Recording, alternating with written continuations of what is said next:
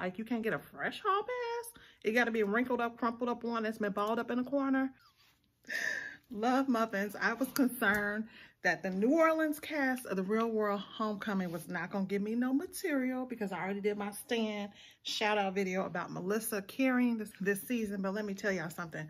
This latest episode, yeah, honorable mentions have to be paid. Honorable mentions have to be done for uh, Miss Mormon USA, as well as Matt's so-called contrition over his kind of homophobic stance around his roommate Danny.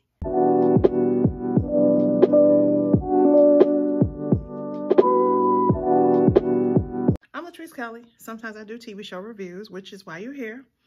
I'm just trying to understand, Julie, you really thought that you was gonna thought it out over here at the reunion, which you can call your roommates, the old folks home, Shady Pines, or whatever you was calling it, trying to be funny because the rest of their cast just want to come and chill. They came for a little free vacation.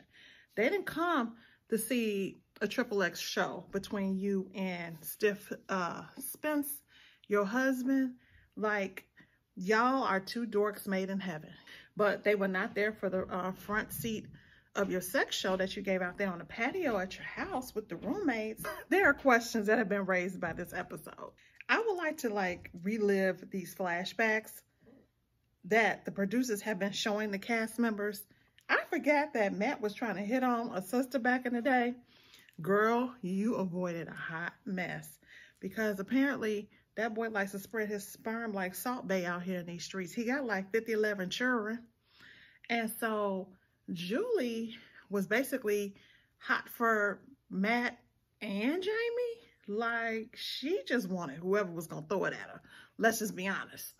So Matt wasn't feeling her back in the day in the 2000 when the show was filmed when they were talking about via the flashbacks who all was crushing on each other in the house matt was like i just wasn't trying to go there with my roommates because apparently melissa was even looking at him like with interest but okay everybody has somebody for them but julie was like well what was wrong with me i mean you remember you were at that club and you were trying to hit on that beautiful um dark skinned black lady lady. I don't know if she said dark skin. I probably might be adding my own little Latrice Kelly spin on it. However, it was a little hateration in this dancery. I feel like Julie was taking a shot there at Matt. And Matt was like, I'm, I'm just telling you that I wasn't interested in dating a castmate. It wasn't about, I wasn't going to date nobody in New Orleans, period. It was just a safe thing to do. And then Danny chimed in like, yeah, you don't poop where you eat. And that's, that's facts. So speaking of pooping where you eat, I didn't know it was that deep between Julie and Jamie back in the day. I mean, I saw the flirtation, the different video packages that they would show, like when they had that little mud fight or whatever, and she was pushing up on him and he wasn't saying no or nothing. And then she kissed him and whatever. So apparently when the show ended, they were an item, but then he basically dismissed it as it wasn't that serious. And in her own way, she was like, too, saying that as well, that she was just looking for a little hit it and quit it. And even though he was her first, Miss Mormon USA was hot in the pants and uh, he put it on her and more than put it on her, it sounds like, because she said he taught her everything there is to know, basically, and gave her her first, oh, Jamie, it's like that? Like, you work, like, is it like that? so because well kudos to you jamie because apparently you know a lot of people ain't getting the o on the first time i'm just saying he came to visit the house spence julie's now husband like y'all couldn't wait like go back to the hotel why you gotta do it in front of the roommates like y'all are not 20 years old anymore i guess spence was mature enough to know about julie's past and didn't like question it but then the truth comes out that he hadn't really watched the show until like two weeks before she came to the homecoming. So like, has she told her husband that her and Jamie were a thing before this happened? That that was the first? Or maybe she just said my first was this person, but he didn't really make the connection that it was one of your roommates from the real world. Messy Julie. So let's get off of Messy Julie for a minute. Let's turn to Matt.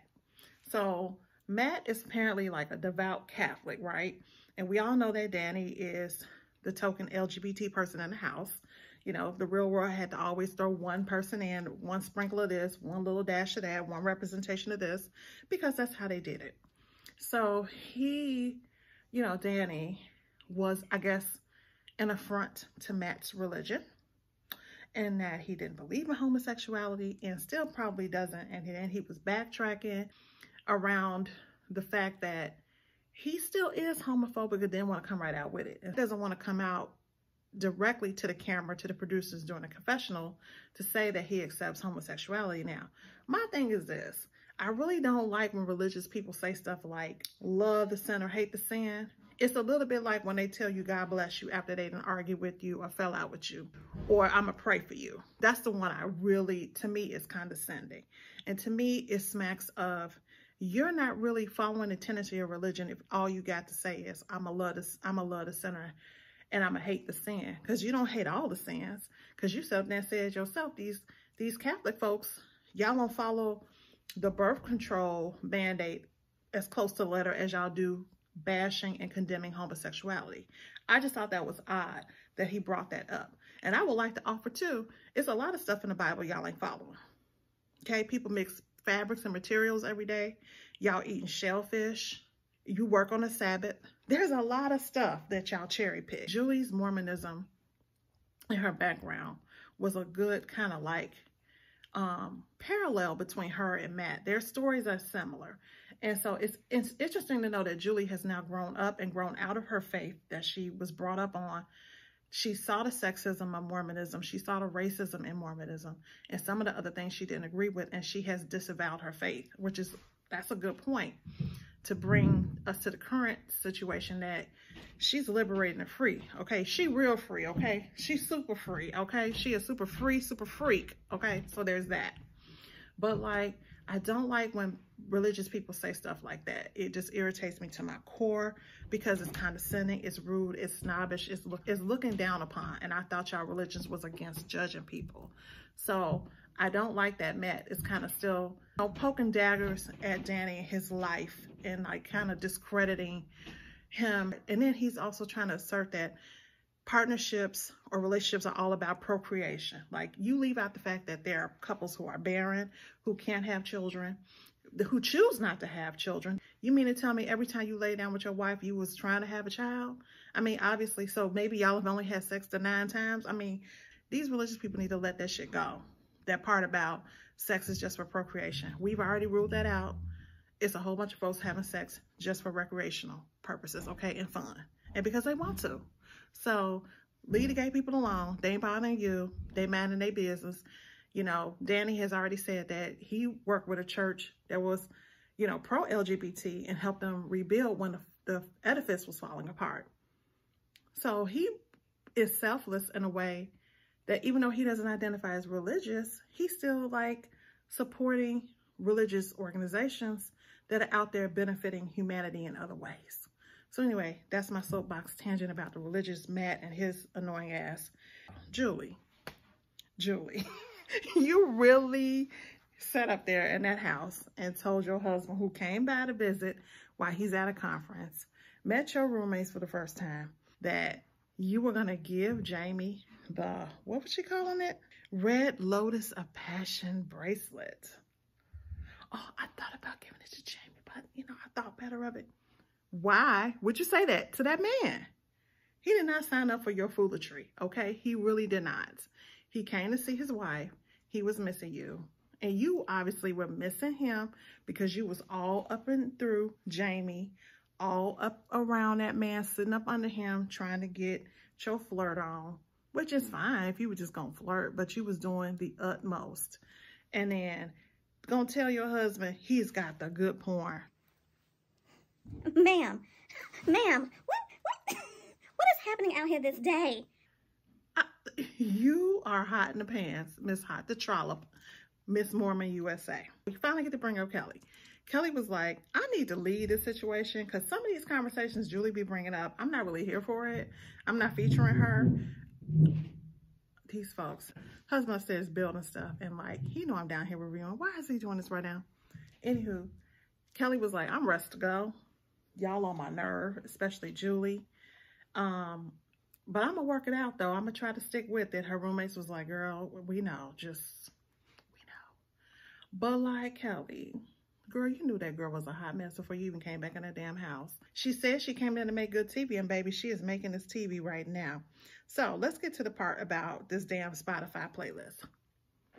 Spence, Julie's husband, called her in a tizzy child really upset with her because he discovered their shared playlist on Spotify had a, the title of the, the playlist was groping. But then when I continued to watch an episode, it said roping, which sounded like some low-key freaky shit, let's be honest, because Julie is an all-the-way freak. She out the closet. She's wearing this freak flag proudly, loudly, and openly. Now, Jamie is on the playlist. And some of the titles of the songs are a little raunchy, apparently. So, husband, like, what's good? Like, what is, what is you doing? What is you doing right now? So, like, Julie was just trying to calm him down. Like, don't panic. Nothing's happening. Nothing's to happen. But never mind all the roommates in the house like, girl, we see what you're doing. We see you and Jamie all booed up in a corner somewhere. And y'all both married. So what's tea? Y'all seem to be feeling each other's a little bit too much or y'all trying to relive old times, go down memory lane, which Jamie seems to be very like, oh, it's not all that, you know, but Julie definitely is like, that's my friend and I miss him. And when you're in, when you're in Wisconsin, come visit and you can come stay with us. And then when you, we come to Chicago, we can come visit you. Y'all are each other's ex, fuck buddies, or whatever you want to call it, Julie, because she definitely called it fuck buddy at one time. But like, why would you want to be around a man you was getting buck wild with back in the 2000s? Like, no ma'am. No Pam, no turkey, no ham.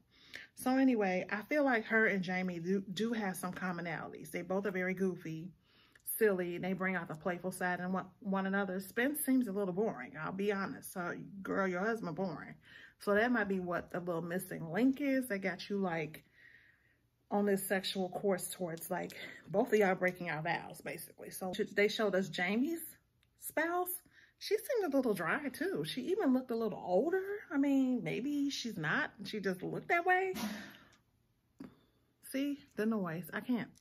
Anyway, I want to rewind back to Matt and Danny.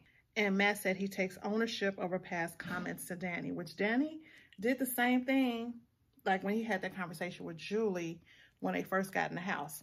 When somebody makes an apology, it needs to be more than that. You can't readily accept something when you're not ready. And then also when you don't feel a person is really contrite or is really sympathetic of what they did. I don't think Matt is ready to admit that he really don't like gay people.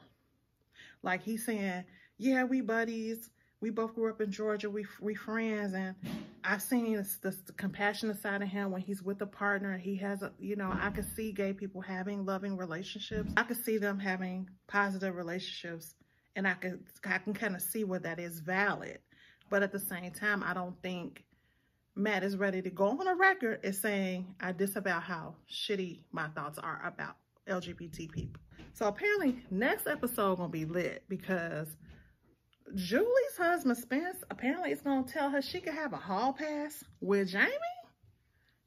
Jamie, why would you have a hall pass which somebody you already then busted wide open for? Like, you can't get a fresh hall pass? It got to be wrinkled up, crumpled up one that's been balled up in a corner? That seems really weird to me. something tells me their marriage is a little bit on the shaky ground anyway. You know, the fact that they were both former Mormons and like Julie said, a lot of times when people leave Mormonism, their marriages tend to fall apart. So something is cooking. And then apparently we're going to focus on, come on, be my baby tonight. Ow. Come on, be my baby tonight.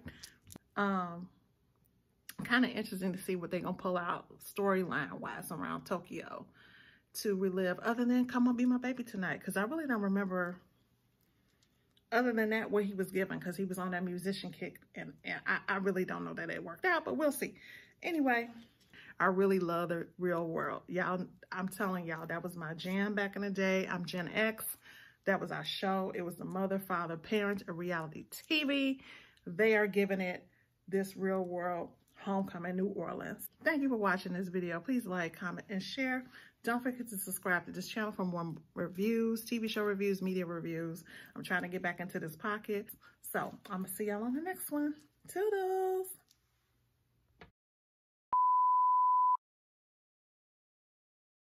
So why are you acting like this? Why they walk so hard over me? That's the other question. But girl, questions.